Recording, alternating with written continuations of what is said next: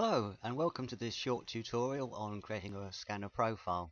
My name's Adrian from JAK Fine Art Printing and in this video I'll be taking you through the basics that are involved in setting this up. We'll be looking at the software that you need, the IT8 target and also how easy is it to actually do once you've got all the bits and pieces.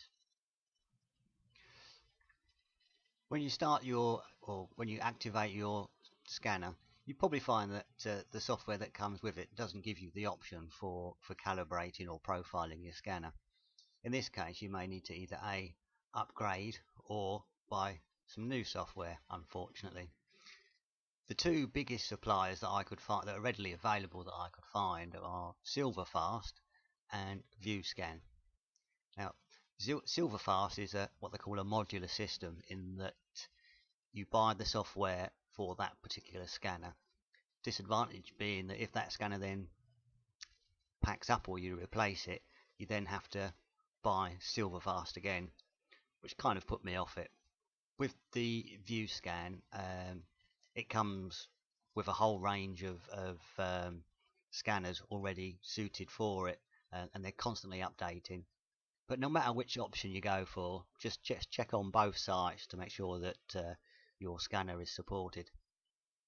Now with the Silverfast you need to buy the AI Studio 8 version and with the VueScan you need to purchase the professional version.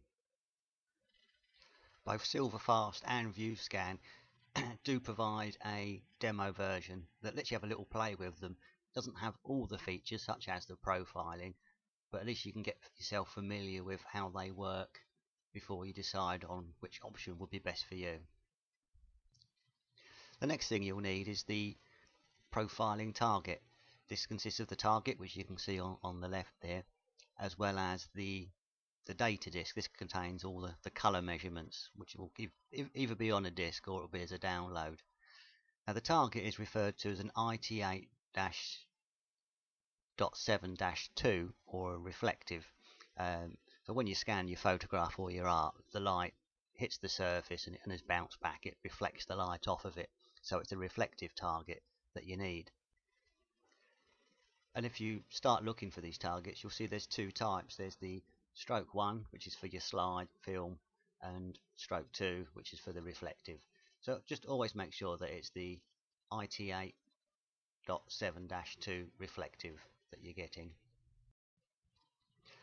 Uh, the VueScan software recommends the targets you get come from this Wolf Faust at www.coloraid.de and Silverfast recommend that you buy their uh, targets from their website at silverfast.com. So once we've got your software and you've got your IT8 target, I'll be showing you how to profile your scanner and for this demonstration I'll be using the VueScan software with the Wolf Faust uh, IT8 target. Okay, so we, before we start profiling and setting up our scanner, the first thing we need to do is to get the, the data disk set up. So when you put your data disk in, you'll get these files here. The README is basically telling you that this R120804 file is if your scanner on the on the inside of the lid is black. If the inside lid of the lid of this scanner is white, you need to go into this extras and it's this one here with the letter W. So what you need to do here is just click on it and then decide where it is that you want to save it. In my case I'm saving it on my C drive. So all you do is just click it over and drag it to where you want it to go. So when we first fire up our VueScan software, the first thing we're presented with is this basic screen. And we see up here from the options it's set to basic. So we just click on the, uh, the drop down menu and select the professional one. And it's the professional version that lets us have the calibration software or the profiling I should say. So first thing we need to do is to set the task to from scan to file to profile scanner.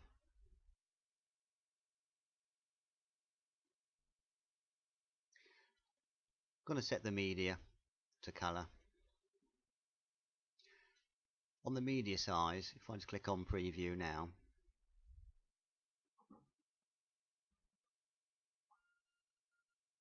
So I've got my IT8 target roughly in the middle of my scanner flap of my scanner bed. And you can see it's it's cropped a bit off. Now I could move it over but obviously if I'm scanning larger pieces I don't want bits being chopped off. I don't know why this software does it's the only problem I've found with it. All I do is just set it from auto to maximum.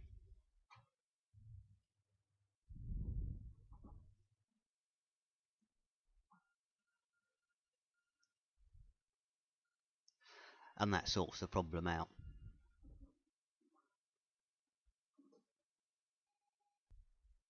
The next thing to be aware of is if you've put the target in upside down, if I just zoom in so you can see, if you put the target in upside down or it's and it's not quite straight, don't use the rotation tools and the skew tools to straighten it out. Much better to take the target out, reposition it, and then do another preview. You also notice by setting it to profile scanner we now get this marching ants border grid. What we need to do now is just line up the grid to match on the IT8 target. So I'd best just do a, very quick fit from here and then we can just zoom in to line it all up.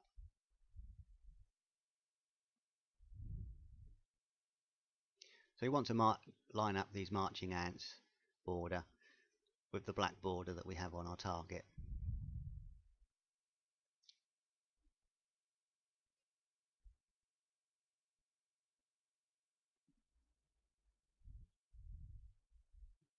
Okay, so once that's lined up, go on to the next stage.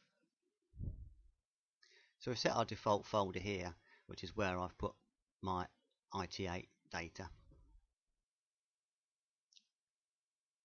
Now we select color. Now it should in theory turn everything off when you're doing the, the calibration, but just to be on the safe side I'll just set this to none. The first thing we want to look at now is this scanner IT8 uh, data. This is where we put our file. So we just click on this at button. Now you may notice that straight away that our reference file seems to have disappeared. If we look at this data file from this Dropbox here, we have this .it8, we have a .q60 and a .text txt. Click on the txt our WR120804W suddenly appears. So we just click on that and click on open.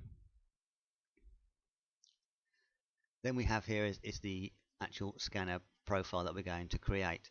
The default name is scanner ICC. I like to change this to the month where it was done.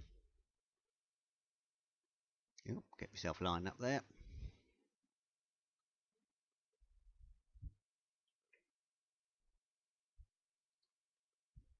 And it's important as well to make sure that you leave the .icc at the end of the name.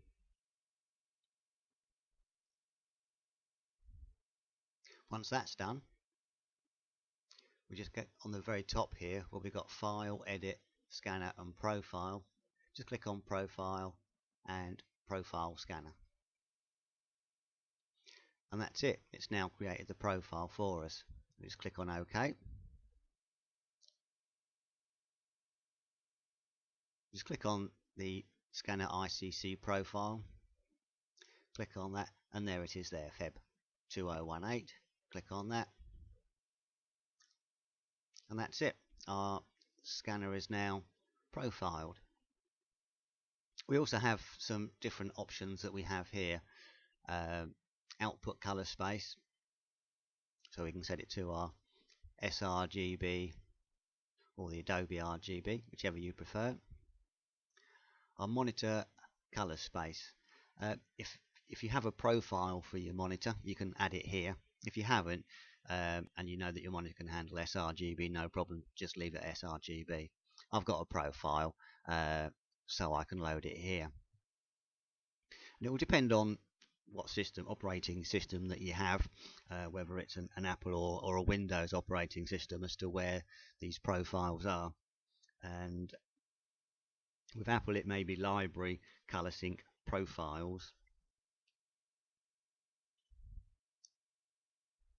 So what we do is just click on ICC profile, monitor ICC profile, and we just go to the address where our profiles are. In the Windows operating system, it's on the C drive, Windows, System 32, Spool, Drivers, Color. So quite buried in a few folders. You may find as well um, the default name for the, for the profile is, is generic PNP1 for my system. And a quick look through here and I couldn't find it. And just like the IT8 data this time I want to change it to the ICM and there it is there. So I just click on there and click save. So now I know that I've got profiled scanner and I'm looking at it through the profile of my monitor so I'm getting a much more accurate preview of my scans. That's it. So I hope you've enjoyed watching and you found this short tutorial very useful. Thank you very much